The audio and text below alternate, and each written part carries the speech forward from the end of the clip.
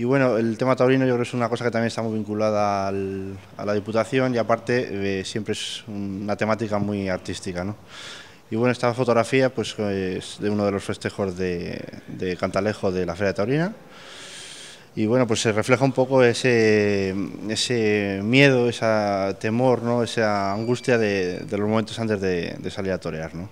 No, él no es consciente de que le estaba haciendo la foto. No, no, no, no él, él se estaba colgando la montera en ese momento, estaba ahí eh, en sí mismo en él y no, él no es consciente en ese momento de que yo estoy haciendo la foto.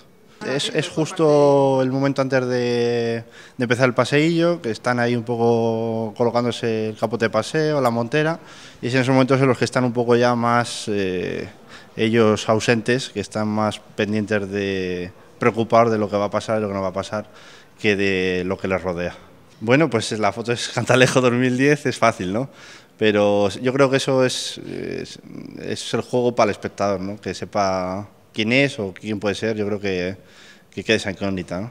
Eso es, el contraste, ¿no? El contraste de esa persona que es capaz de ponerse delante de un toro y los miedos que esa persona tiene. De hecho, la, obra se llama Soledad, ¿no? Porque a pesar de que el torero pueda estar en la plaza con 5.000 personas o 2.000 personas, al final está solo ante el toro, ¿no? Al final sus miedos, sus sueños, sus ilusiones están ahí.